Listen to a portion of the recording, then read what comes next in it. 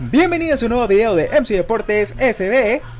Bueno amigos y amigas, quería traerles unas declaraciones de Hugo Pérez muy interesantes, donde aclara pues temas importantes ya que hace un par de días fue abordado por el medio digital diario El Salvador, quien le consultó nuevamente si existía algún tipo de negocio no escondido por ahí entre jugadores que ellos recomendaban a la USL algo que se rumoró muchísimo, ¿no?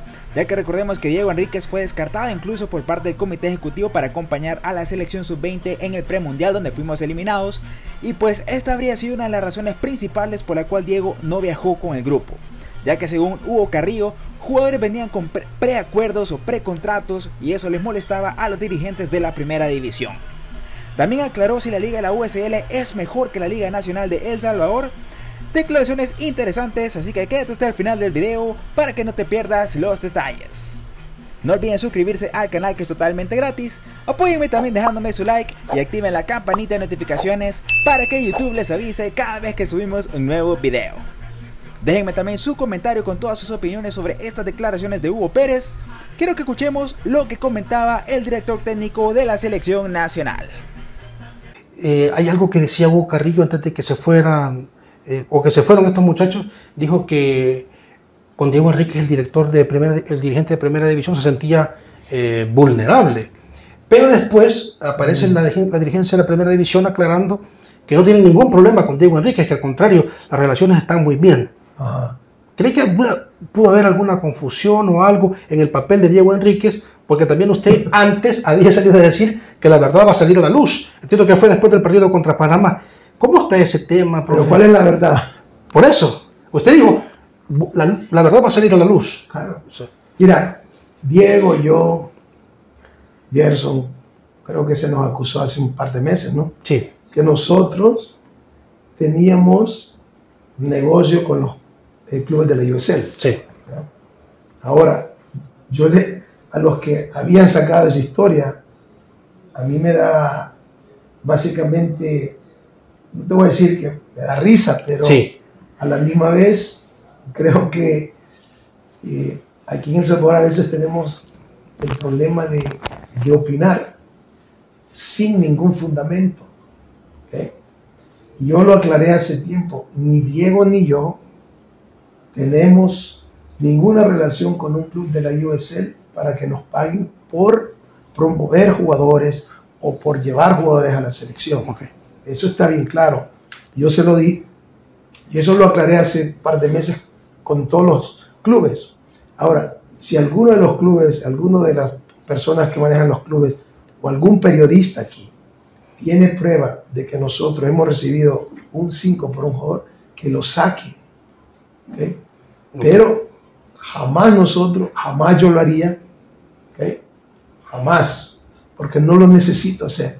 Y mis convicciones como persona cristiana, jamás violaría eso yo. Así es que es mentira todo eso.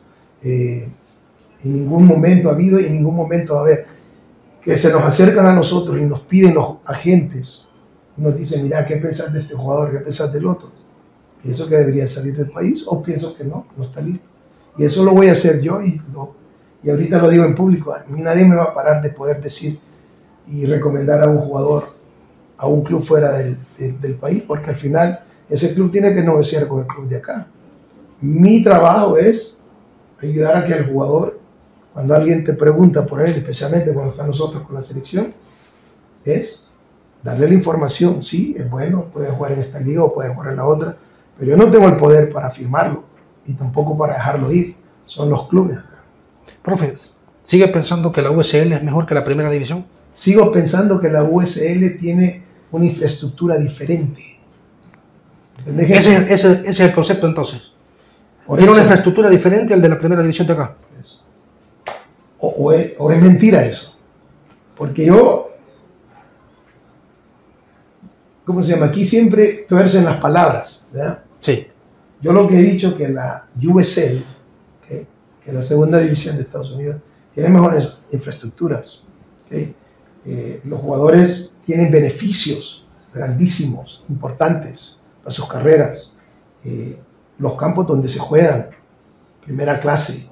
Entonces, todas esas cosas, nos guste o no nos guste, es una infraestructura de hace años y años de esa liga. hay jugadores de la USL que están siendo firmados con la MLS. Ahora, la liga de nosotros es diferente, no tiene esa infraestructura. ¿okay? Pero tampoco te voy a decir que la liga salvadoreña es malísima y que la USL es grandísima. No. Lo más importante para mí, ¿okay? yo que fui profesional casi por 20 años, que un jugador tenga todas las condiciones necesarias para poder desempeñar su carrera. ¿okay? Entonces, esa es la diferencia. Pero yo nunca he dicho, si yo quisiera decir que la, la, la, la liga es malísima, yo hubiera dicho, pero lo que yo digo que es diferente. ¿okay? No podemos comparar las dos ligas. Ahora, hay algunos que tienen la opinión que dicen que la USL no sirve. Perfecto. Que la, que la de aquí es mejor. Está bien, esa es la opinión de ellos. Yo me abaso porque un futbolista profesional ¿okay?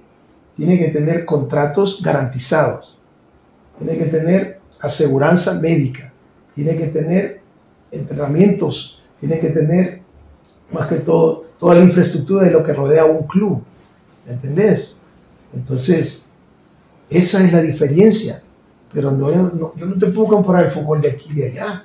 Ahora, lo importante sí es que aquí nosotros podamos hacer eso. Y te voy a decir algo que me pareció fantástico. Hace cinco días o seis días, FAS sacó, FAS, que, va a pagar los 12 meses.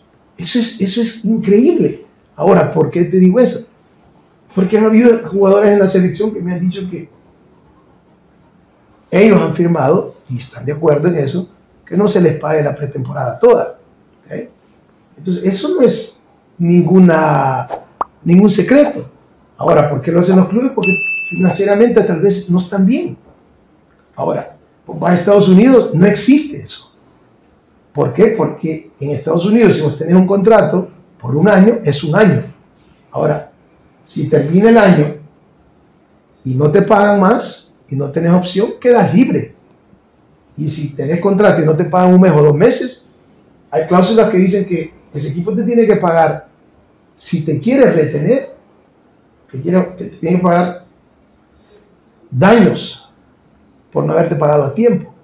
Ahora, a veces esto es legal aquí en El Salvador porque los jugadores firman eso, entonces lo hace legal. No podés reclamarle a los clubes. Pero lo que ha hecho FAS, pienso que es importante. Pues creo que los demás clubes van a tener que seguir eso, probablemente. Pagarle a un los 12 meses. Es tu trabajo, es, es la comida de tu familia. Entonces es importante. Profe, son 20 minutos los que teníamos para esta conversación. No alcanzan para practicar con, con el estratega del, del azul. Profe, quiero agradecerle en nombre de todos mis compañeros de la sección deportiva de El Salvador, también de la gente de multimedia, que haya venido, que nos haya visitado acá. Ya, para ustedes, esta es su casa. La despedida para todos los lectores de Diario El Salvador, profesor. Ah, a todos los que me quieren y a los que no me quieren. no, en serio. Bueno, Le agradezco tiene que mucho. ser más los que lo quieren que no lo quieren. No, está bien, que me quieran o no me quieran. Está bien. Un saludo y gracias por